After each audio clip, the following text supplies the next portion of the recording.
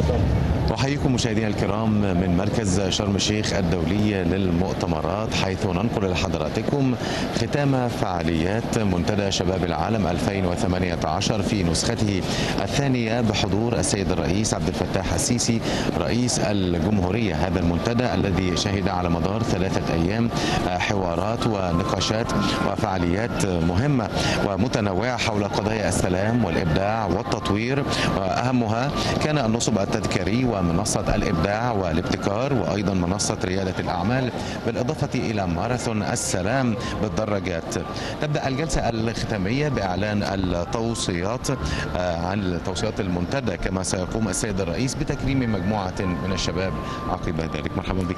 مرحبا محمد مرحبا بكم مشاهدينا الكرام في ختام فعاليات منتدى شباب العالم 2018 في نسخته الثانية برعاية حضور الرئيس عبد الفتاح السيسي.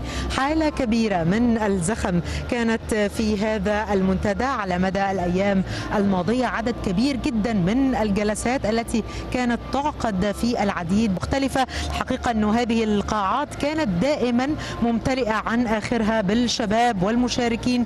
الجميع كان حريصا على الحضور وكان حريصا على معرفة العديد من الموضوعات المطروحة. عدد كبير من المتحدثين على منصات الخاصة بهذه الجلسات. موضوعات أيضا متنوعة تنوعت ما بين السلام والإبداع والتنمية. إفريقيا كانت حاضرة جدا في هذا المنتدى سواء من خلال المشاركة عدد كبير من المشاركين الذين سجلوا على الموقع الخاص بالمنتدى والذين حضروا المنتدى من أفريقيا.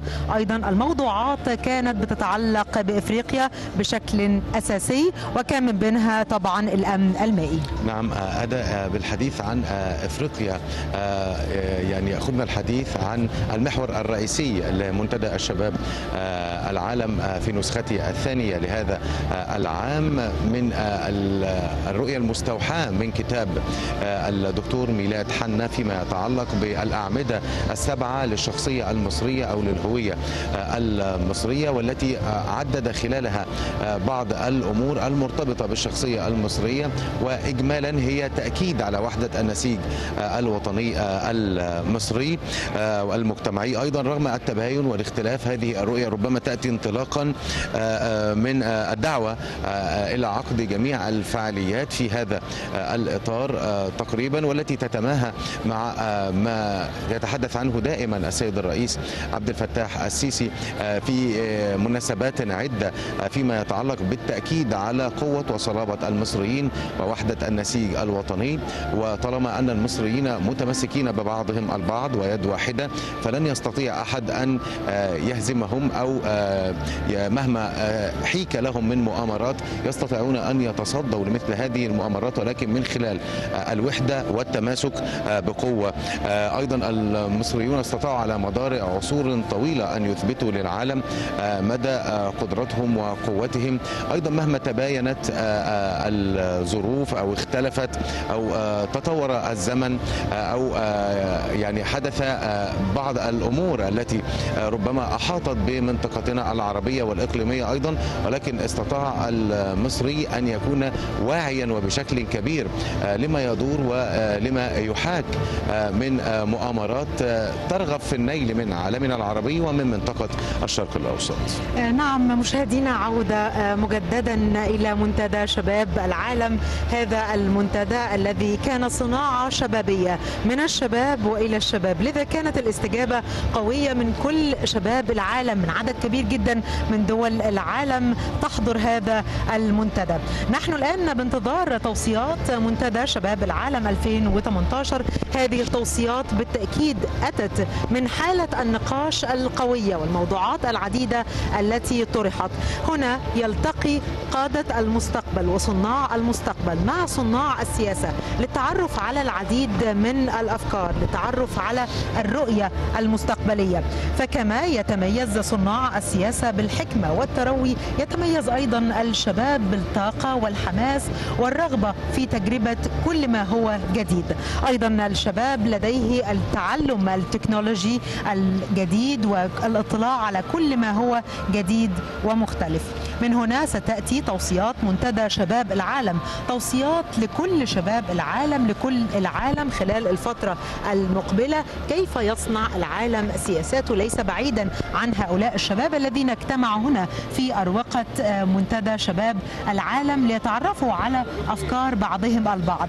على الرغم من الاختلافات الشكلية في هؤلاء الشباب لكنه بالتأكيد هناك أرضية صلبة لهؤلاء الشباب.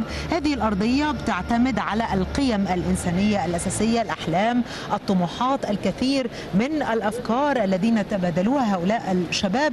كان لها تأثير جيد وطيب جدا على الجميع. نعم هذا يعد انتماء مصر ربما وفق ما ذكرت للقارة الإفريقية هو مستقبل واعد للأفارقة جميعا إذا ما أخذنا الموضوع بعين الاعتبار من خلال الجلسات والنقاشات وأيضا من خلال الأعمدة أيضا التي هي الأساس في أو العنوان العريض لهذا المنتدى أو مستوحى من هذا الكتاب الخاص بالدكتور ميلاد حنا إن رغم انتماء مصر لمنطقة الشمال المختلفة ديموغرافيا عن الجنوب إلا أن لمصر تاريخا متأصلا في القارة السمراء مصر هي التي دعمت حركات التحرر الوطني في معظم بلدان إفريقيا إبان عهد الزعيم الراحل جمال عبد الناصر.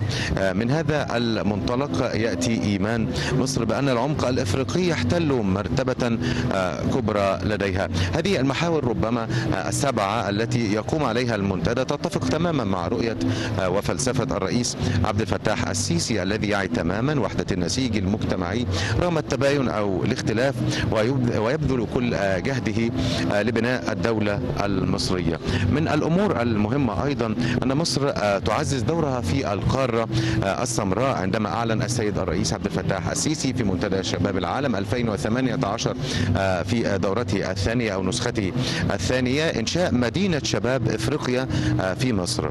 تلك الخطوة تعد بمثابة تطوير كبير للعلاقات بين القاهرة والقارة السمراء. أيضا تضمن تعزيز مكانة مصر الإفريقية ويظهر هذا الأمر من توجه الرئيس عبد الفتاح السيسي نحو الاهتمام بقضايا القارة الإفريقية والمشروعات التي يتم إنشاؤها هناك وأيضا التوافق مع الكثير من الدول الإفريقية حول رؤى معينة تتعلق بوحدة المصير لهذه الدول إضافة إلى فتح آفاق للاستثمار وفرص عمل للشباب في القارة الإفريقية من خلال هذا الاستثمار. نعم محمد إفريقيا كانت واحدة من الموضوعات الهامة من خلال هذا المنتدى لكن دعوني أذكر حضراتكم بنسخة منتدى شباب العالم لهذا العام والتي كانت مختلفة في وجود فعاليات وجلسات وحلقات نقاشية بأسلوب جديد وعرض مختلف حيث تنوعت هذه الجلسات بين حلقة نقاشية ومائدة مستديرة وورش عمل بالإضافة إلى العروض البصرية المتمثلة في الأفلام التسجيلية والقصيرة ومختلف وسائل وعروض التقديم. من أجندة المنتدى كان هناك عدد كبير جدا من الجلسات. هذه الجلسات كانت بتدور حول ثلاث محاور رئيسية. في محور السلام تم مناقشة موضوعات مثل بناء الدول والمجتمعات في مرحلة ما بعد الحروب والنزاعات ودور قادة العالم في تحقيق السلام واجب المجتمع الدولي نحو تقديم المساعدات الإنسانية وسبل مواجهة الإرهاب والتطرف الفكري والشراكة الأورو متوسطية.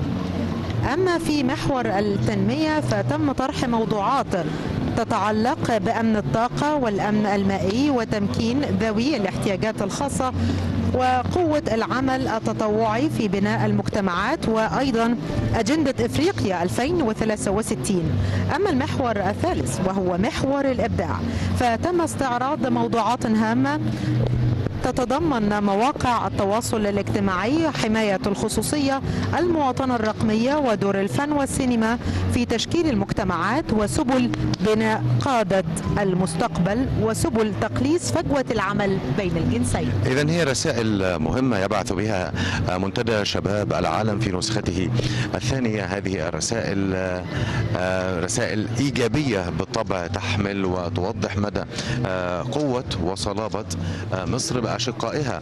فاليوم من المنتظر أن يكون السيد الرئيس عمر حسن البشير رئيس السودان الشقيق ضيفا على هذا المنتدى كضيف شرف.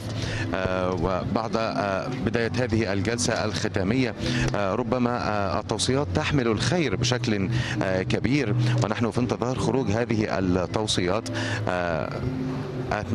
بحضور السيد الرئيس عبد الفتاح السيسي رئيس الجمهورية. إذا بحديثنا عن الرسائل وعن إفريقيا وأهمية إفريقيا. هناك اتجاه كبير للدولة بالتواجد في القارة الإفريقية.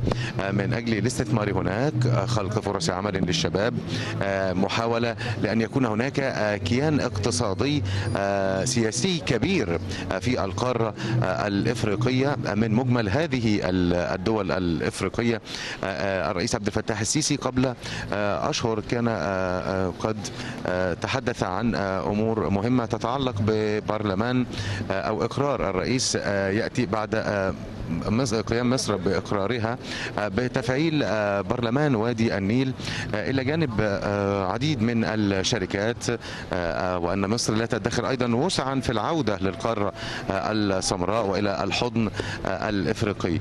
فكرة أيضا إنشاء مدينة شباب إفريقيا في مصر ربما سيعزز مكانة مصر في القارة الإفريقية التي تعد قارة شابة وأن التكامل الاقتصادي والتكاتف لبناء كيان افريقي قوي سياسيا واقتصاديا من الأمور المهمة ولا تأتي إلا من خلال الوعي الخاص بالشباب الذي يفهم المستقبل.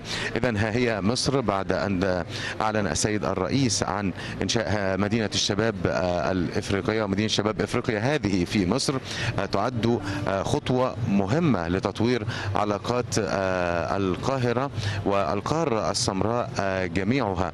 لضمان تعزيز مكانة مصر افريقيا. أيضا رئاسة مصر للاتحاد الإفريقي في 2019 يعزز أيضا بشكل كبير دور مصر ربما شكل كامل عندما تقوم مصر بطرح رؤيتها في إدارة الاتحاد الإفريقي وأيضا في تطوير الاتحاد الإفريقي و تعزيز وتقوية الروابط ووشائج العلاقات فيما بين الدول الإفريقية وبعضها البعض. هذه المرة في المنتدى منتدى شباب العالم 2018 وفي هذه النسخة كل نسخة جديدة من المنتدى تشهد تطورا كبيرا.